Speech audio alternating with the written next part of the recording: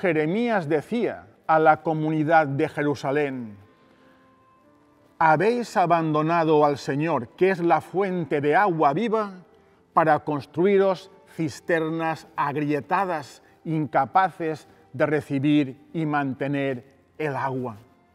Y es que en el Antiguo Testamento Dios suele aparecer bajo la metáfora del agua, aquel que da la vida y que hace florecer a la persona humana en frutos de evangelio.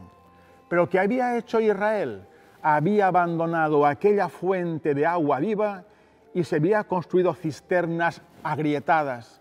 ¿Y eso qué es? Había entregado la vida a los falsos dioses, a los ídolos, que siempre son cuatro.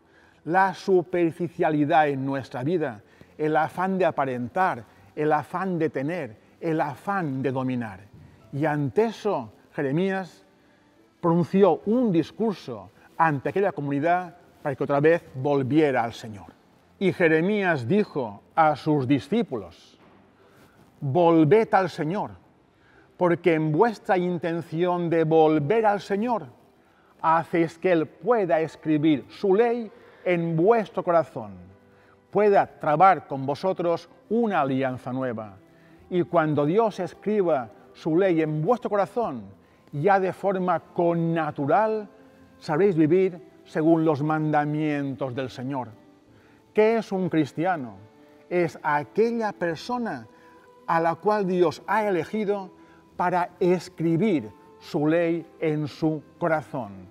Aquella persona que Dios ha elegido para ser especialmente en el mundo testimonio de su luz, de su bondad, de su misericordia, de su justicia. Todos tenemos la ley de Dios escrita en nuestra alma.